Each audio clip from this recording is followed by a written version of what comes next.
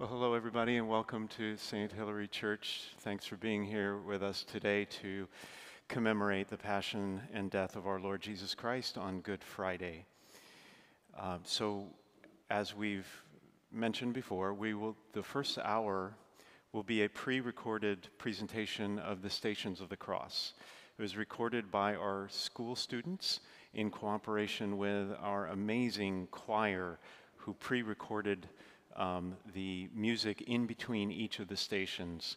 And so you'll be watching that on our um, monitor here in the church. It will also be live streamed at home. So thank you for joining us. After the first hour, we will need to ask you to exit the church so that we can clean the pews. Um, and then that'll take about 10 minutes, and then we'll ask, then we'll invite you back in. I'm sorry about that, but it's the only way we could um, make sure that we comply with the um, regulations in place because of COVID 19. Um, and at this moment, we'll take up a short collection. We will take up a collection. We'll take a short moment to take up a collection for the Holy Land. All the money that is donated today uh, in all the churches around the world go to support the religious sites in the Holy Land. So thank you for your generosity, and our presentation will begin momentarily.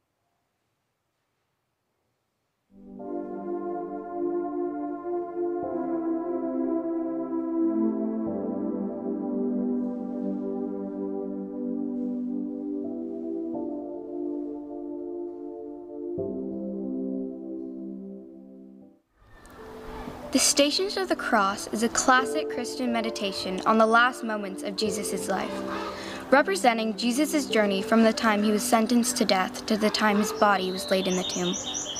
The Stations of the Cross draws us closer to Jesus as we reflect on the love he poured out for us through his suffering and dying. While this prayer has depth and power that still resonates today, it can show us that we are not bystanders in this historical event, we need to find ourselves in the story. Do you see yourself as Simon? Can you relate to Veronica? Do you feel crushed by the weight of your own struggles? Find yourself. The stations can show you that you are not alone. Whether you feel like you're falling or on top of mountains, Jesus is there, with love so strong he can carry the burden of the cross. So come with us as we journey through the stations of the cross.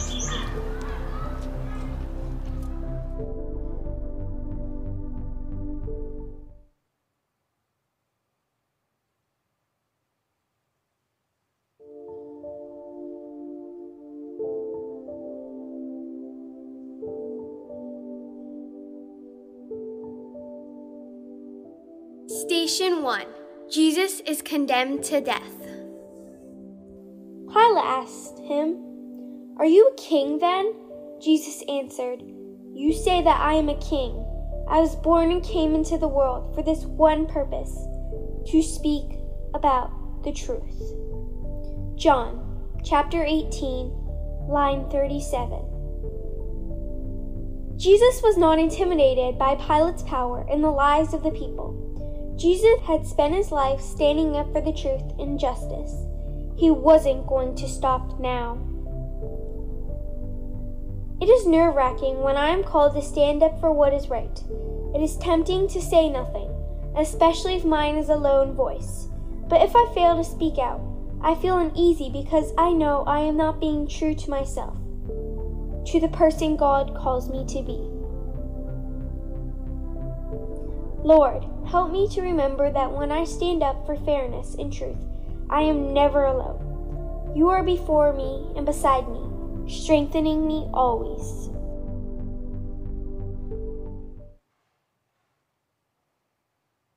Jesus walked this lonesome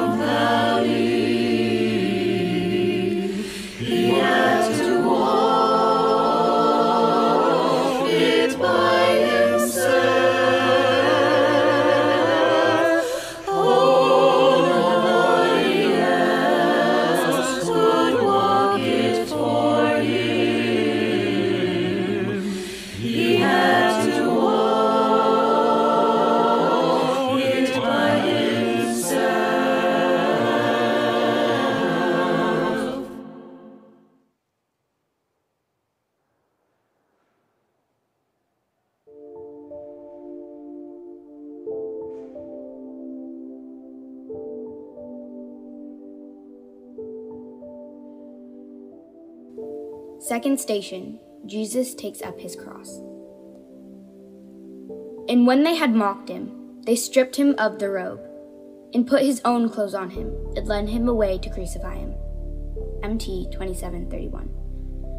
Jesus was not used to be pointing at. He didn't act like the other people. He didn't fit in. He was different. But many had admired Jesus' new teaching. Now things were beginning to change. In just a few hours, Jesus was mocked and rejected by almost everyone. It is a terrible feeling to be mocked and rejected. It eats away at my self worth. I doubt myself and ask, What's wrong with me? But often the answer lies not within me, but with the offender.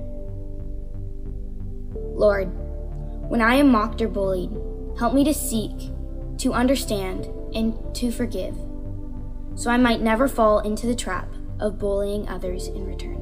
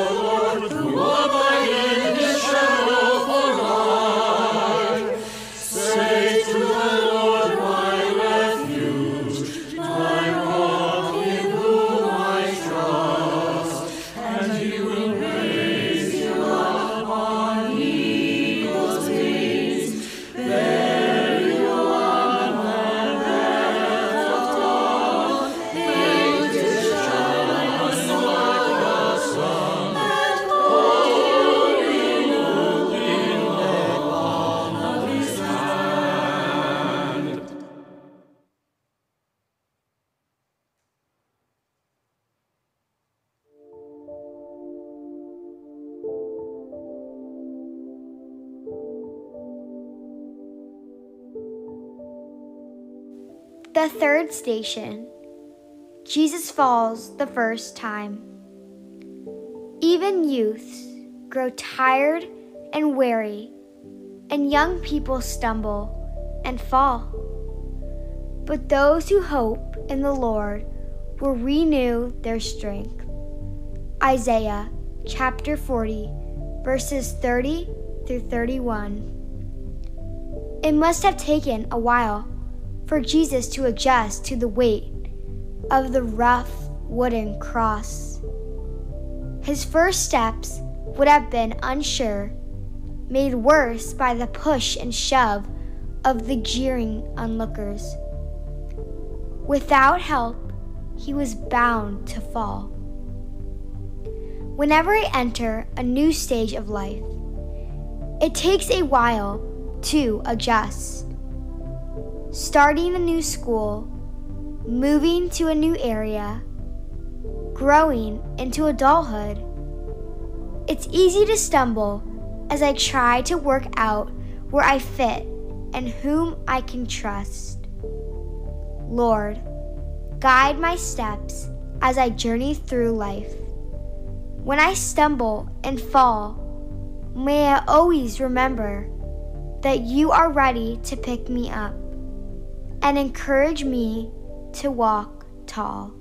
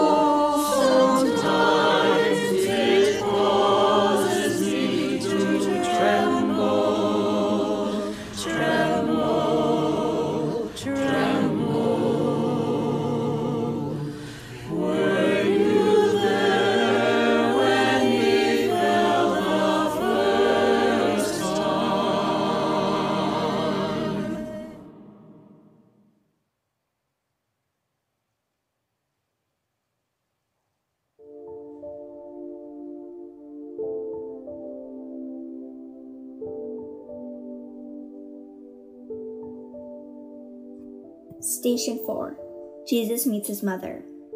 God sent the angel Gabriel to a young woman named Mary. The angel said, Peace be with you. The Lord is with you and has greatly blessed you. You will give birth to a son and name him Jesus. He will be great and called the Son of the Most High God. Luke chapter 1, verses 26 through 33. The words of the angel must seem like a distant memory for Mary her hopes for her son now appeared dashed as she sees Jesus in pain, dejected and humiliated. Since his birth, she had cared for him.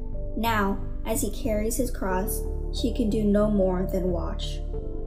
It can be difficult for my family to watch as I become more independent and struggle with life's challenges. They worry I might make the wrong choices. Sometimes this hurts all of us, but I know that whatever happens, they love me and want the best for me. Lord, remind me that love costs and to value it above all things. Foster in me a loving, grateful, and humble heart, ready to listen and to grow.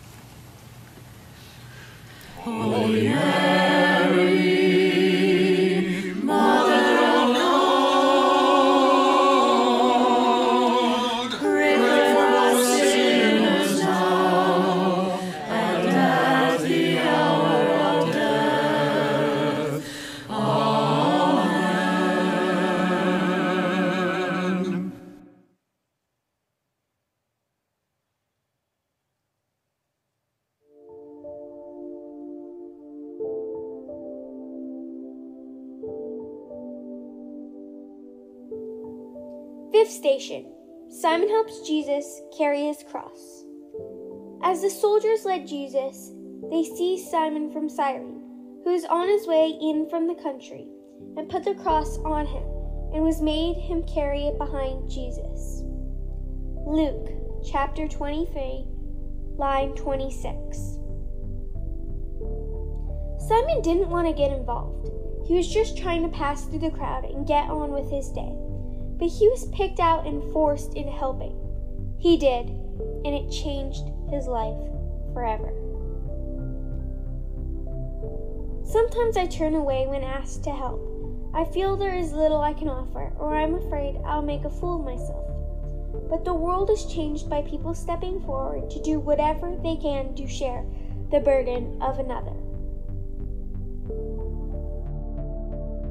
Lord, help me to trust that when others ask for help, my help, they believe I can make a difference. Give me the courage to step forward and get involved.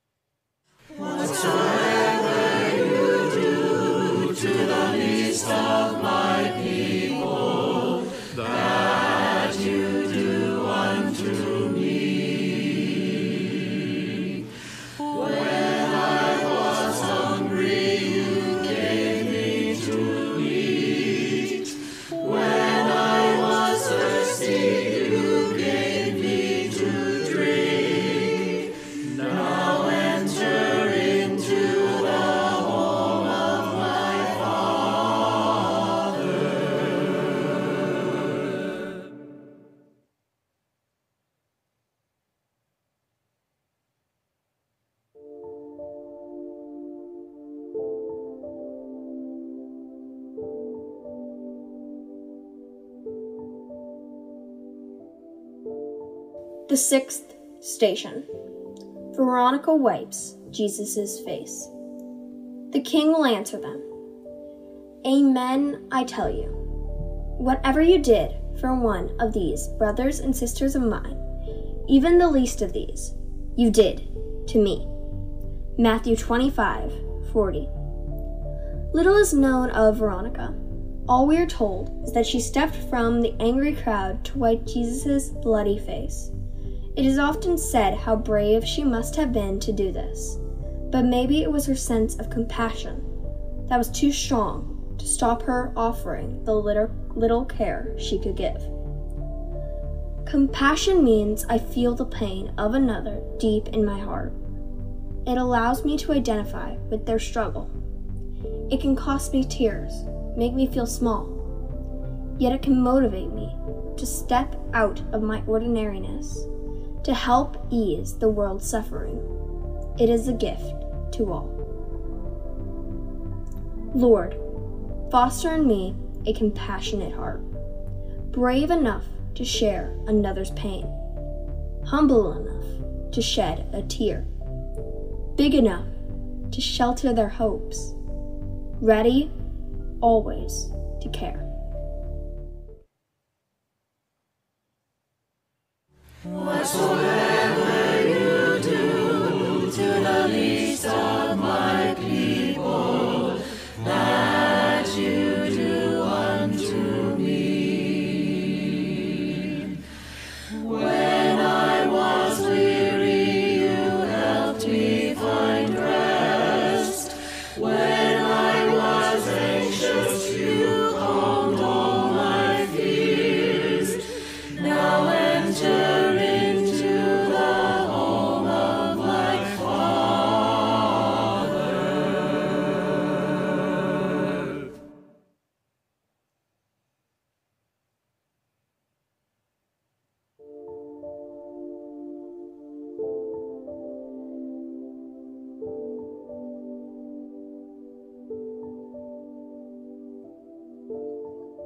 seventh station Jesus falls a second time.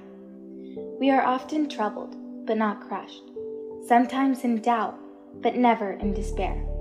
There are many enemies, but we are never without a friend. And though badly hurt at times, we are never destroyed. 2 Corinthians chapter 4 verses 8 through 9. The wood of the cross and the people's rejection must have weighed heavier and heavier on Jesus' body and heart. It must have been ever harder to go on as he stumbled through the streets of Jerusalem.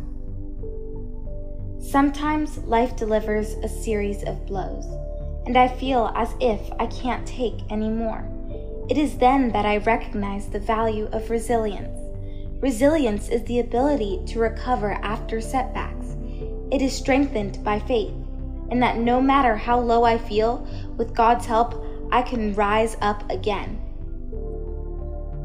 Lord, help me when life is hard, that you never leave me to face my difficulties alone. Help me to see that you work through others, picking me up and restoring my strength. This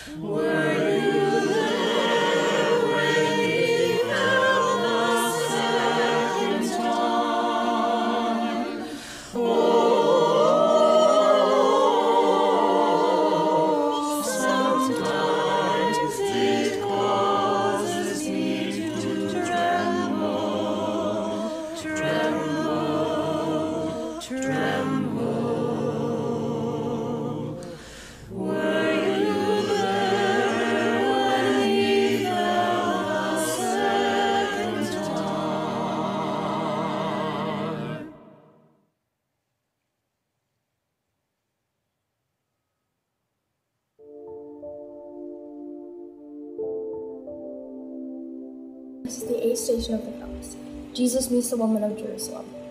A large crowd of people followed him. Among them were some women who were weeping and wailing for him. Luke chapter 27, verse 23. Amidst the jeering crowd, there was one group of women who refused to turn their back on their friend and teacher, Jesus. But they withstood pressures to deny him or run away. Although it made them outsiders, their faith was steadfast. It can be difficult to live out my faith when the world around me doesn't. I can feel pressure into fitting in by not wanting to stand out. It takes courage to remain faithful to a way of life and to support others as they follow their chosen path. Lord, help me to be faithful to my friends, to my family, to my beliefs. Never let the pressure to fit in prevent me from standing out.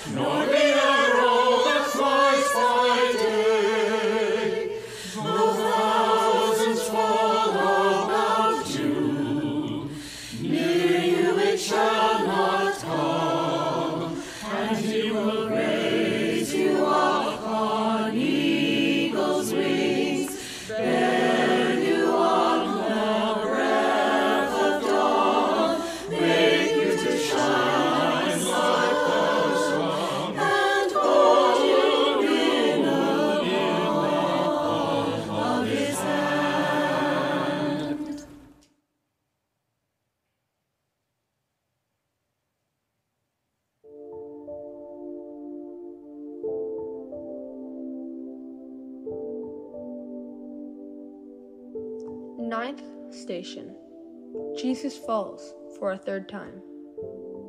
Our enemies have no reason to gloat over us. We have fallen, but we will rise again. We are in darkness now, but the Lord will give us light.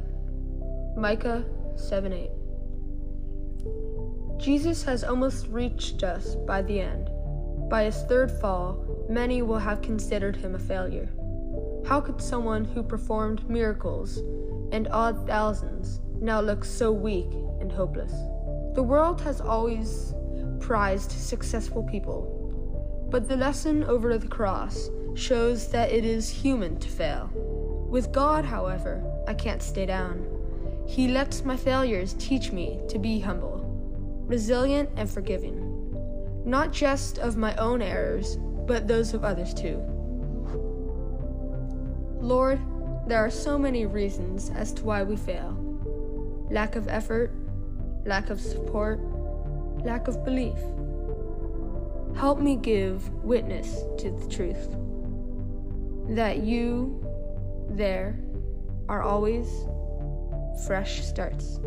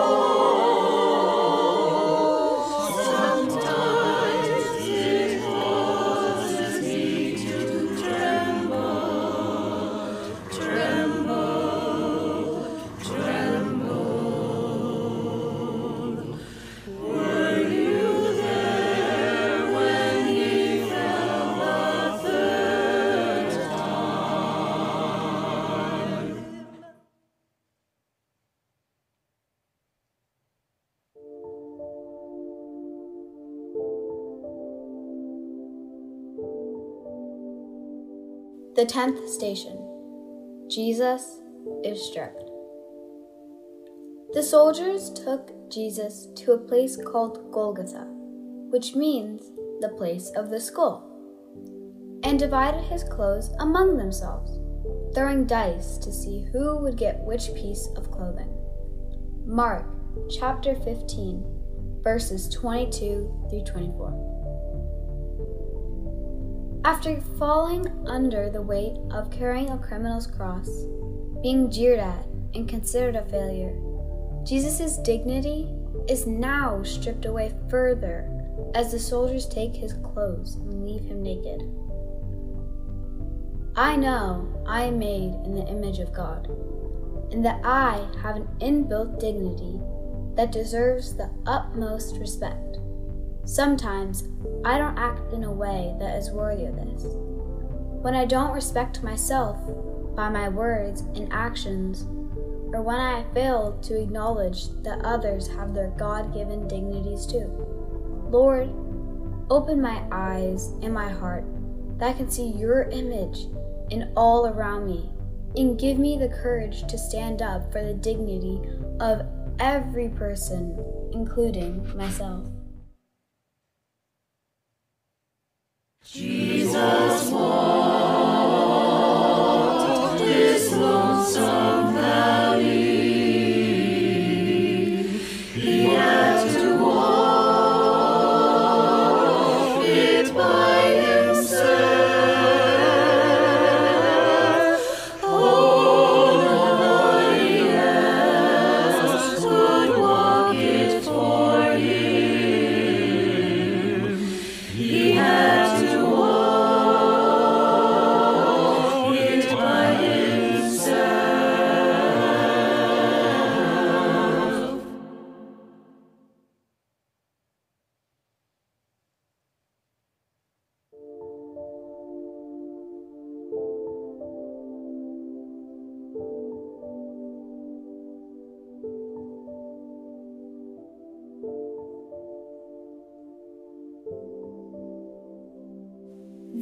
11th station, Jesus is nailed to the cross. When they came to the place called the skull, they crucified him there along with the criminals. Luke chapter 23, verses 33 to 34. It is difficult to know what caused Jesus the greatest suffering the physical pain of being nailed to the cross, or the cruel injustice inflicted on him by others. The cruelty I see in the news and in my community can make me feel sad and confused. How can some people be so mean? Why doesn't God do something? Then I remember He did. He made me. Lord, may I never forget that with each kind word and merciful act, I help to create a culture of love that counteracts a culture of hate. Remind me that my love makes a difference.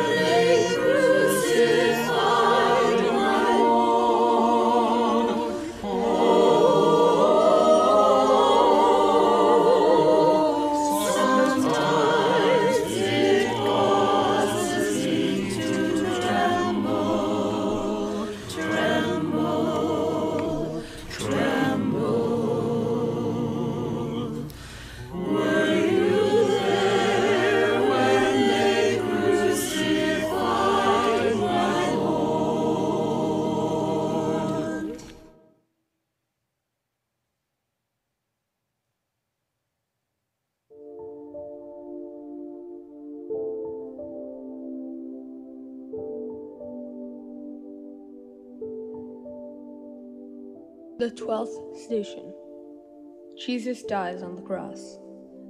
At about three in the afternoon, Jesus cried out in a loud voice, My God, my God, why have you forsaken me? Then, with a loud cry, Jesus breathed his last. Mark 15 34 37. It is shocking to think that at this, his darkest hour, even Jesus doubted the Father's presence. Shocking too for those gathered to watch. Is this how it ends? Have God and goodness gone? Reflection. It can be unnerving when someone I look up to begins to doubt themselves. I expect them to always be sure, to inspire and guide. Should I now doubt them as well? Or should I remain loyal and help restore their faith? Lord, help me to stay faithful. In the darkest times, when others lose hope, give me the grace to help them find it.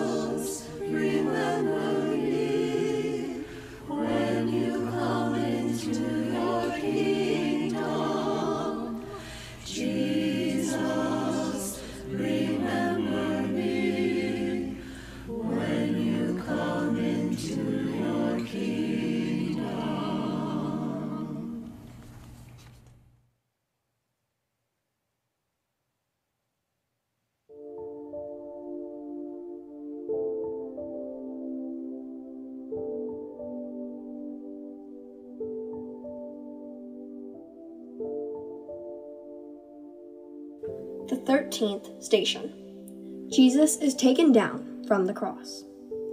A request was put to Pilate by Joseph from Arimathea that he might take away Jesus' body, and Pilate gave permission. So he came and took his body away. John 19 38. Joseph of Arimathea was a follower of Jesus. Unable to prevent his degrading death, Joseph and a few other loyal followers now do all they can to ensure Jesus is finally treated with dignity and care. It saddens me when cemeteries are vandalized. It suggests that the dead are no longer worthy of respect. But Christ taught us that life is changed when we die, not ended. So I'll continue to pay my respects as best as I can because love and dignity never ends. Lord, may I always pay my respects to those who have died and support those who left grieving through prayer, a visit, and acts of care.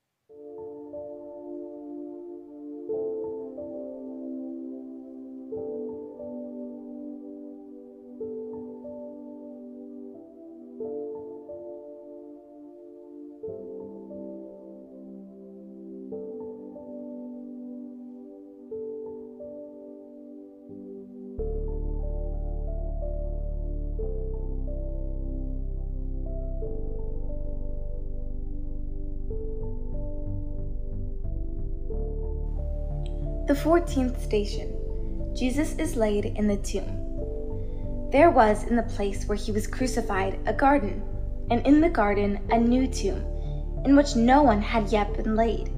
And so there, because the tomb was nearby, they laid Jesus. John chapter 19, verses 41 through 42.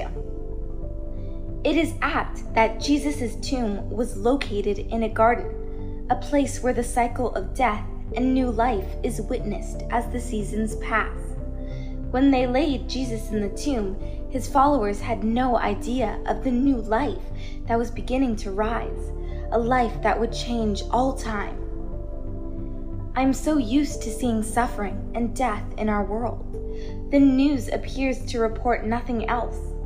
But the lessons of the cross teaches us to keep our eyes and hearts open for signs of new beginnings. God's love and light are always at work, especially in the darkest times. Lord, open my eyes to notice beauty in the world, kindness in people, love all around me, and your risen Son everywhere.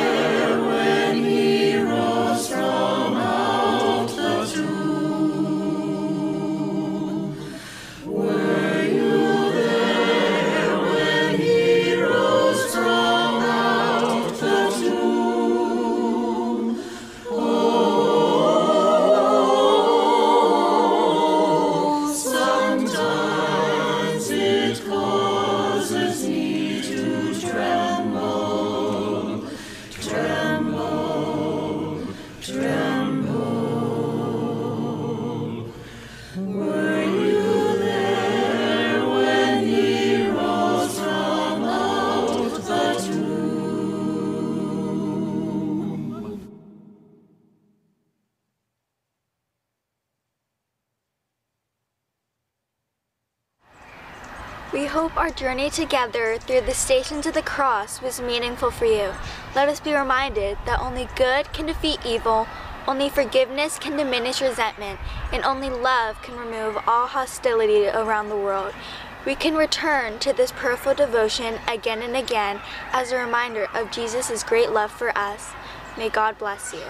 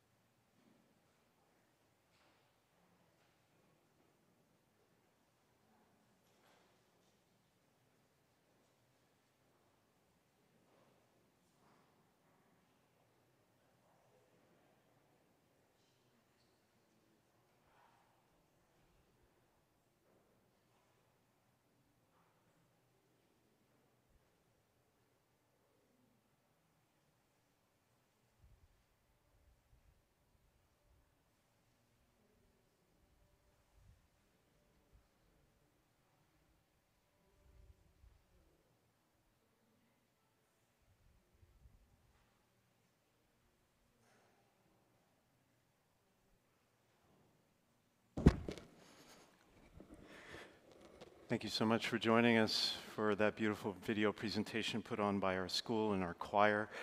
As I mentioned at the beginning, we are going to need to decontaminate the pews, so I invite everyone to please just exit the church for just maybe five or ten minutes while we decontaminate the pews so that others who join us later um, will have a clean place to, to sit. If you're at home, um, we'll discontinue the live stream at now at this point, but we will, the live stream will begin again at 1 o'clock with the meditations on the seven last words. Thank you again for joining us.